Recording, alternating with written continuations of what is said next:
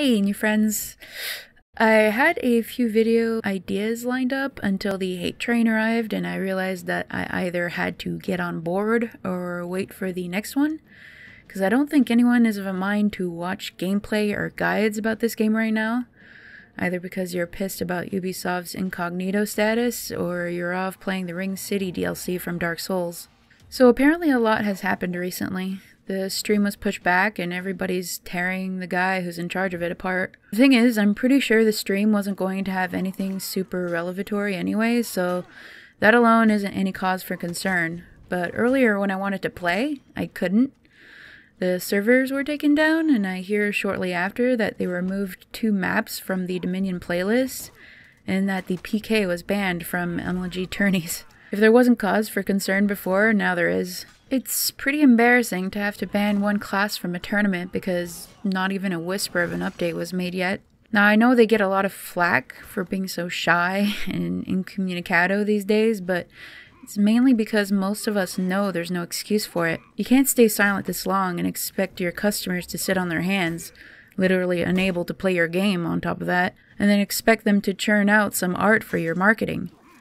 The shitfest this game is causing could have been easily seen from a mile away. When the vast majority of your player base are encountering class imbalances, broken mechanics, disconnects every third or fourth game or so, not only will they turn on each other, but they'll turn on a company which has had a sketchy past with other games before and hasn't said much of a word on any of the major problems plaguing this game currently. The lack of communication can be addressed if they assigned a dedicated community manager, and I'm not entirely sure what their reason is for not having done this already, but it's definitely a flimsy one at this point given how low the playing population has sunk to. It's just very hard to believe there isn't one person in the Ubisoft hive that's in charge of their community image in For Honor. If there is, they're doing a terrible job at connecting with their users. If they ever think of putting someone in charge of this community, they're going to have their work cut out for them.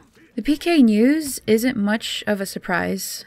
For the first week of For Honor, I didn't think she was OP. I learned to parry her lights, and I thought she was counterable. But when they started in with the zones, it got increasingly harder to beat PKs due to how fast it is. You always have to guard your right with her, and even if you're good at seeing her zones, she can still spam you with some fast lights, which, depending on your connection and frame rate, can be nearly impossible to block or parry.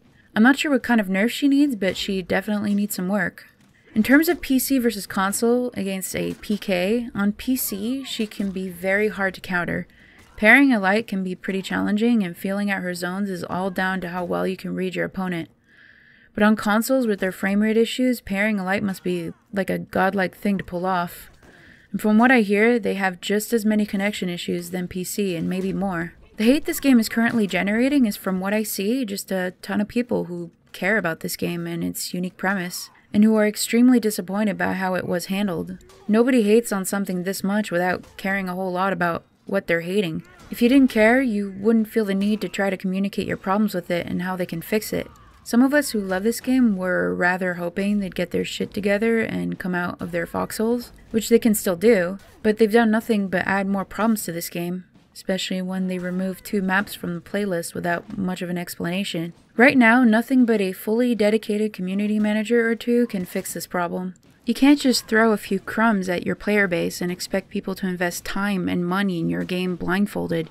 You have to open up, or the mood of the community will shift from murderous intent to apathetic, and your game will be a desert town in a few months. It sounds dramatic, but that's just how easily a game can die with the wrong management.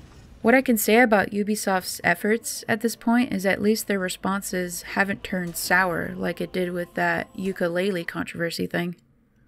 Anyway, that's enough of an opinion for one day. If you disagree, let me know in the comments. I'm always up for a good debate, and I'm always open to being proven wrong. Regardless of whether or not this becomes the thing that kills this game or is just a rough patch it needs to go through, I'll still be releasing some more opinion videos some gameplay and maybe a guide about this game. There's still a chance they'll turn it around like they did with Rainbow Siege. We'll just have to see if they actually learn from their mistakes or if they'll blindly repeat them. In the end, none of us really know what's going on in a company of this size, and so we may never know what truly kills a game. We just have to deal with the information that's given to us, which isn't a whole lot at the moment. Anyway, thanks for watching.